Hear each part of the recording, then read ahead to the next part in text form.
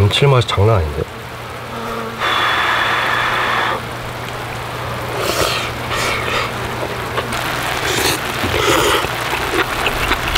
쭈꾸미를 넣어줄게요. 멜젓 살짝. 매콤함도 추가해줍니다. 고추장이 없어서 오늘은 파김치 국물로